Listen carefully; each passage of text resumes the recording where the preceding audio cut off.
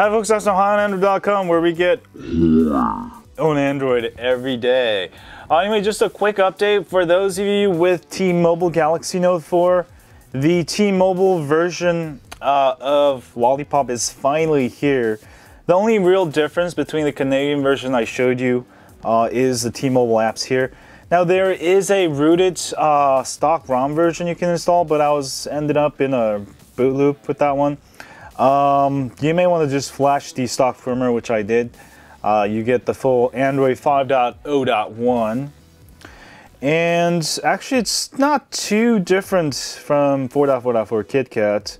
Um, it's pretty much identical, but you get the latest 5.0. Uh, was it 2 or 1? Sorry, getting confused. Uh, anyway, it is it is actually pretty fast. It's got uh, much faster. I do see my Antutu scores up now uh, by about two, three, four thousand points, which is nice. I was getting like 40, I think like 46, 46,000, 47,000. So it does definitely improve your performance. That's the biggest thing.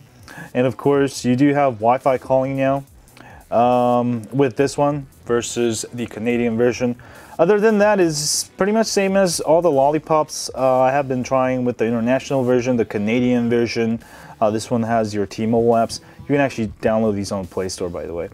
Um, that's pretty much it, but uh, I do highly recommend upgrading. It is really fast. The uh, This is a great upgrade. I certainly recommend it. Again, if you want to um, upgrade, just grab the stock ROM, flash it with Odin. That's my recommended method. And the rerooting route is same as uh, KitKat. Just go ahead and reflash torque recovery, clock mode recovery, flash SuperSU, and you're pretty much done. I'll have all the instructions on my site just in case you guys forgot. Um, anyway, that's pretty much it. Uh, but I have more stuff coming. I will see you guys soon. As always, stay on Android.